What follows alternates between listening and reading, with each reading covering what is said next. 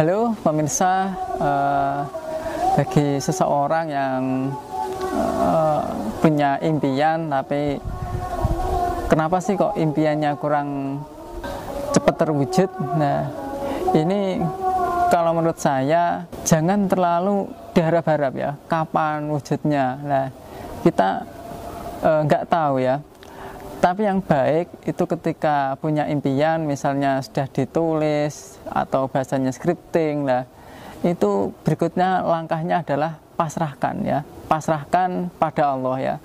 Nanti biar Allah lah yang akan mengurus jalannya untuk ketemu uh, jalan menuju impian. Nah, contoh saja uh, saudara punya impian dapat uang misalnya 100 juta. Nah dalam jangka dua bulan tiga bulan. Nah itu coba setelah punya impian tersebut pasrahkan pada Allah ya. Tapi kalau uh, selalu kapan ya terwujud kapan ya terwujud? Nanti akan mempengaruhi suasana hati jadi vibrasinya rendah itu malah tidak cepat terwujud itu.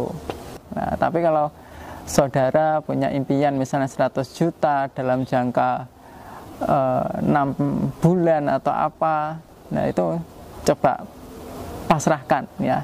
Sampai terjadi kemelekatan. Itu mungkin sedikit tip ya.